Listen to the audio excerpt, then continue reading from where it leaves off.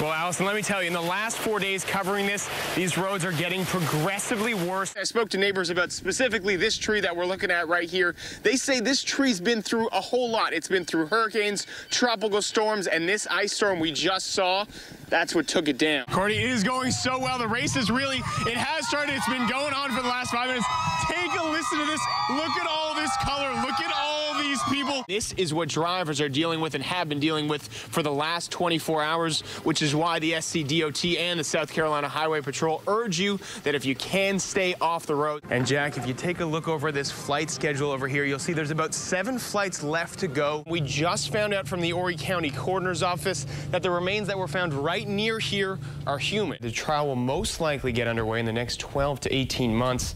I also reached out to Heather's family for comment, but they declined for the time being. Dunn Shortcut Road for now does remain closed and will continue to remain closed as the investigation goes on. This is actually where the first home was burglarized. If you take a look right over here, this is where police say the second home was broken into. We have got the hot dog lady out here. We've got not just seafood, of course, but hot dogs. Tell me, what, what, what are we looking at here? What kind of hot dog is this? Gourmet Nathan's hot dog. Amid so much destruction, it's incredible to know that this building still stands, a building that holds so much significance for the residents of Georgetown.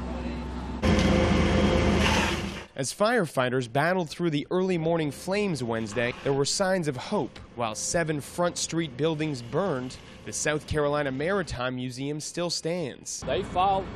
I mean, we had every every pumper and every hose in available pouring water on that on both ends to, to stop it.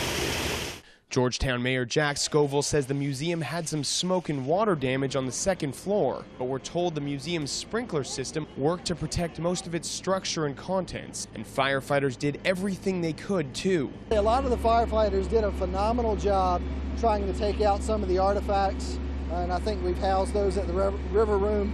Um, and so they did a really good job. It's something they didn't have to do uh, in the line of duty to, to, to, remove as many of those artifacts as they could. Artifacts like photographs and large model ships depicting the area's maritime past. Artifacts that Georgetown County Chamber of Commerce CEO Brian Tucker says are a tribute to the character and culture of Georgetown. The city of Georgetown is roughly 300 years old.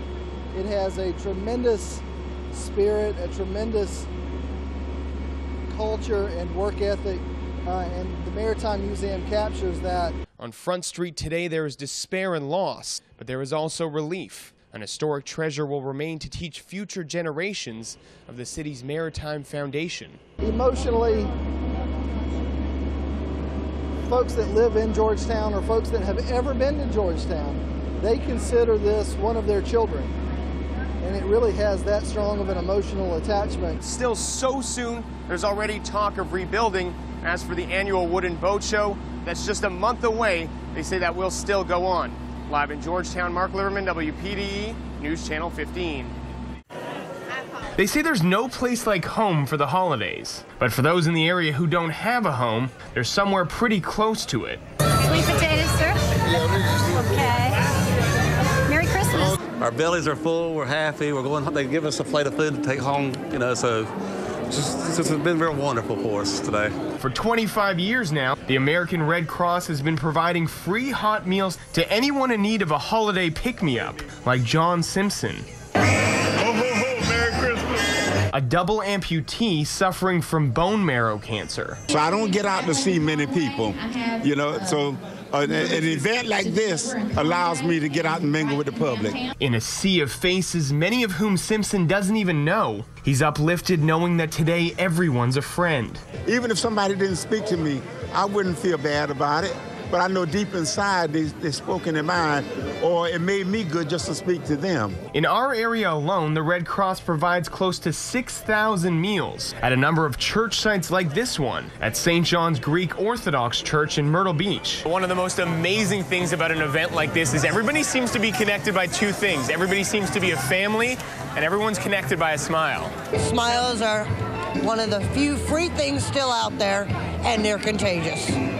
And you can pass them around, and they'll always come back to you. Sarah Lockwood says she and her new extended family will carry the warmth of the holidays long after the leftovers are gone. So it's like a big hug around you, and that just just warms you up because you can take that with you, that memory with you throughout the entire year.